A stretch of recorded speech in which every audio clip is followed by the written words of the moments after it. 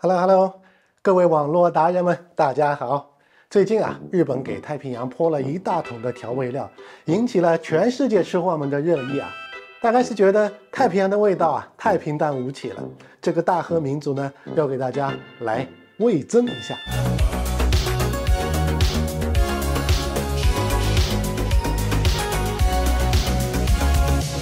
大家的口味都不太一样啊。美国表示呢，我口味重，这个调味料啊调的是刚刚的好，还表扬厨师公开透明，有点像吃日料，厨师呢当着你的面啊捏手卷，感觉还挺好的。西方各堂主呢一看，人家屎盆子都已经扣到你脸上了，还一脸的享受啊，纷纷表示老大勇气可嘉，小弟无话可说。那么向来味道清淡的中韩呢就不一样了。这头刚刚是下料，那头都已经辣的是直跺脚了。今天呢，我们就来捋一捋神仙打架，我们这些小老百姓应该知道点啥。当然，这锅大和味增汤啊，味道好不好，完全是主观感受了。你只要不喜欢，当然可以不买账了。谁强迫就是谁不对喽。但是。能不能喝这个问题吧，那就是客观问题了。既然是客观问题，当然是由专门的营养学家啦、病理学家啦之类的专业人士和机构来评估了。由于这个调味的原料啊有点特殊，村子里面呢专门有这些协会啊来监管和规范这些东西。这个协会的名字就叫做国际原子能机构。不管你用来做老干妈还是饭扫光啊。但凡你只要碰这些材料，就必须受这个协会的管制。所以，如果我们想看看专家的意见啊，找他们是肯定没有错的。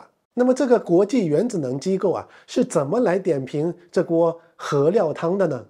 来看一下他们的官网在七月四号发表的一篇文章，标题就是“国际原子能机构认为日本向福岛海域排放处理过的水的计划符合国际安全标准”。文中还有详细的说明。结论就是这锅汤的味道纯正，值得拥有，还不忘安利一下给其他的从业人员来借鉴。关键词就是两年评审，安全，来头那么大，专业性是毋庸置疑的了哈。但是这两年的评审下来，他们到底是在干些啥呢？文中后面有提到，两年来工作组对日本进行了五次审查，发表了六篇技术报告，巴拉巴拉的，没看懂是吧？正常等于啥都没说呀。我们可以来看看 Nature 的官网。这个 Nature 呢是各路专家大咖们展示才艺的地方。其中有这么一篇文章啊，大概可以概括一下我们前面的问题。关键词就是过滤、稀释、安全排放。对此呢，海洋生物学家罗伯特·李士满有不同的意见。他表示，氚会在鱼类里面沉积，然后大鱼吃小鱼，相当于把稀释后的氚又收集起来。最后稀释等于是个笑话。日本的回应是：实验证明鱼类体内的沉积川不会超过环境的含量。关键词就是无妨。英国普兹茅斯大学的环境科学家 Jim Smith 认为，这对太平洋沿岸国家造成的风险可能可以忽略不计。本来啊，对于潜心研究科学的大科学家啊，我个人是无比崇敬的哈。但是 Jim Smith 的言论。自以为他的观点主要来自于比烂。他说，英国的海沙姆核电站和萨拉菲尔德核燃料加工厂每年都会向海洋排放四百到两千泰贝克勒尔的氚，而日本的排放计划中，稀释后的核废水每年释放的氚含量将少于二十二个泰贝克勒尔。不过有一说一啊，虽然说是比烂，要这么比的话，日本的排放确实是太平淡无奇了哈。好吧，我读书少，既然你拿出那么多的数据，我就只好沉默不语喽。But，这个时候就要用到 but 了。就算是技术上看起来 OK，但是执行上 O 不 OK 呢？也就是说，配方看起来是可以的，但是你这个厨师信不信得过呢？未来的事情咱都不好说，信不信得过，只能看你以前做了什么。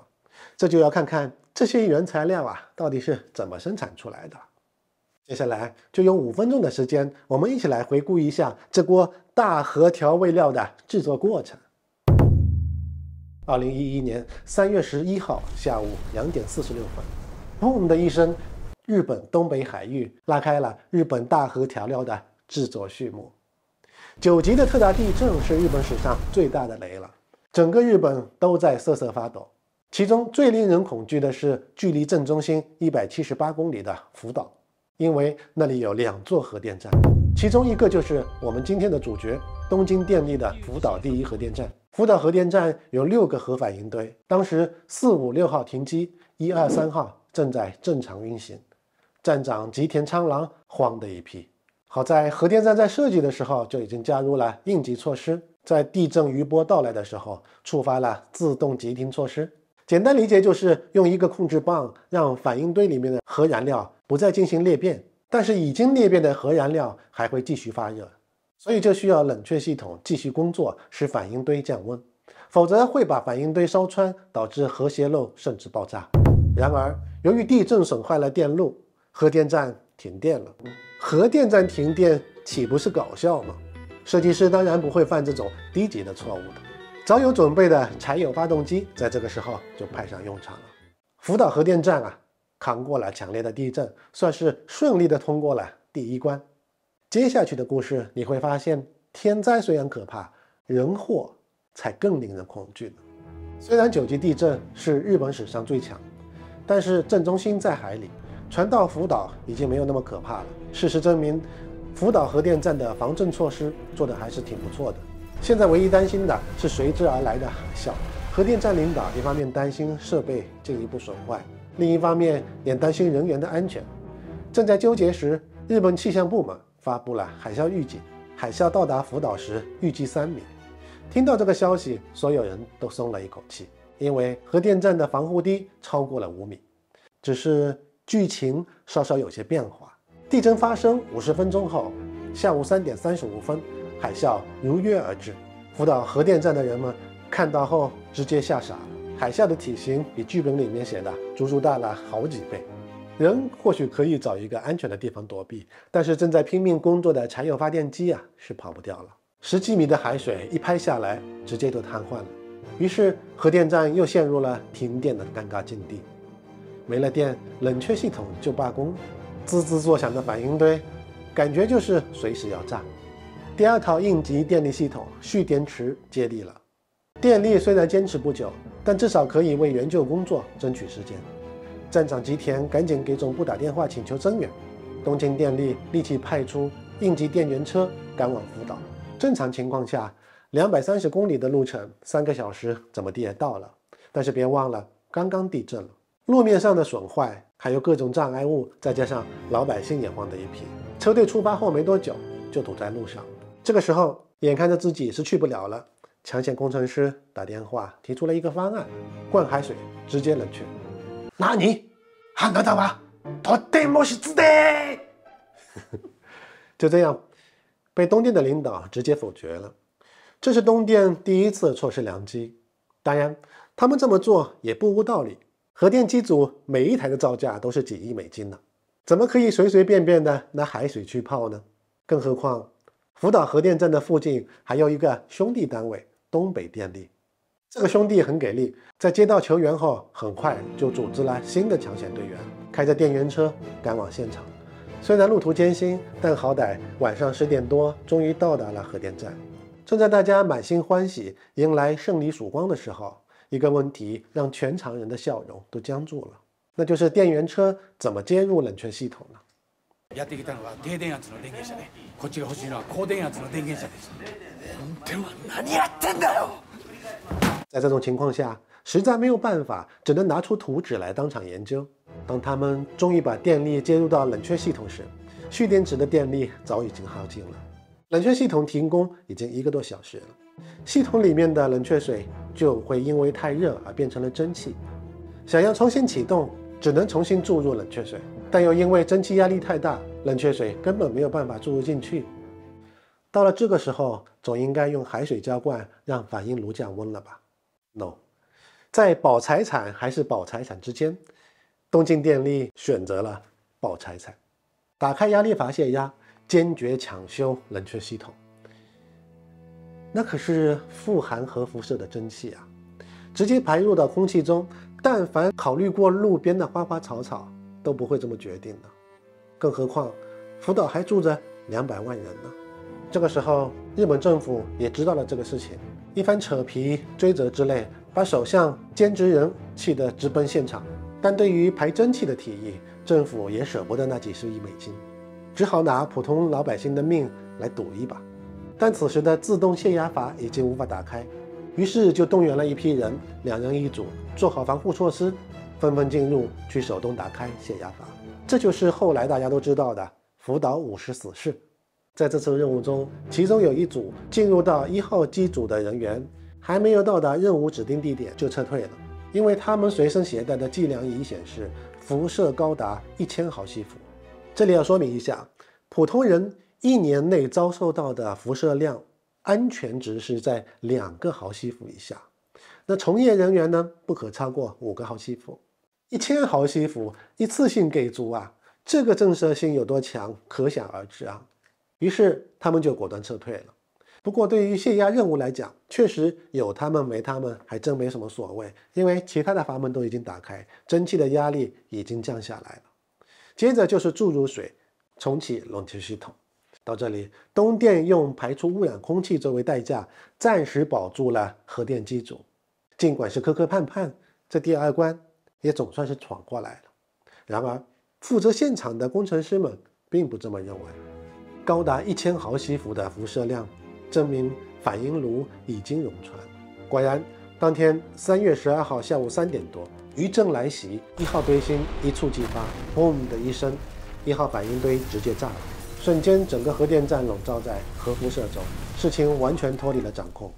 由于担心核电机组的损坏，不可用海水浇灌降温，耽误了时间，导致一号反应炉熔毁爆炸。对于东电来说，没有什么事情是比这个更糟心的了。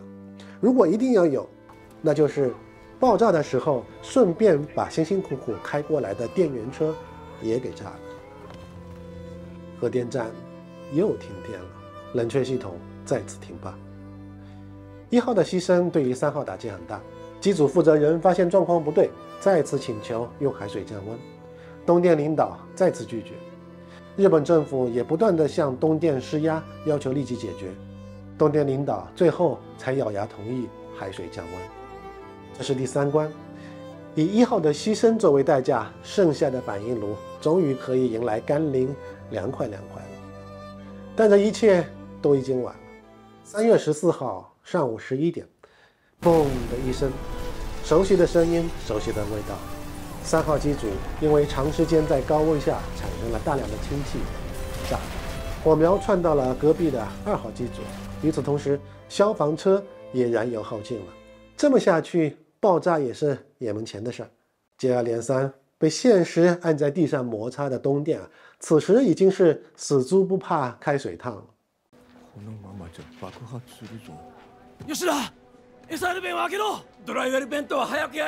与其让爆炸来污染地球，不如我主动投降，直接打开反应炉。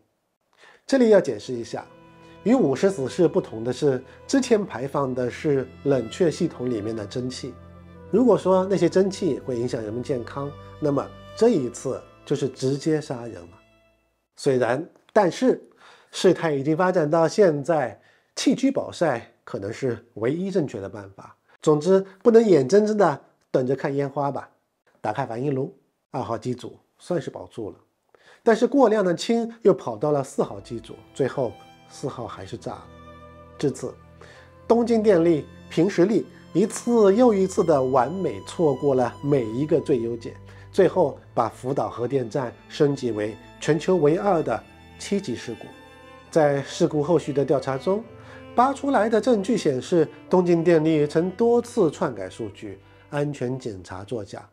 事件就是这么一个事件，事态还在继续演进着。爆炸后，急停用的控制棒已经不起作用了，核燃料还在不断的反应。唯一能够做的就是等它自然停止。这个过程需要几十年，在这个过程中，只能不断的用海水浇灌降温，于是就有了现在一百万吨的。核废水。现在日本说他们有安全的办法来做大和味噌汤，配料是公开透明，专家认定。但是这个熬汤师傅，你还信得过吗？我是 Tim，感谢大家收看，欢迎订阅关注，拜拜。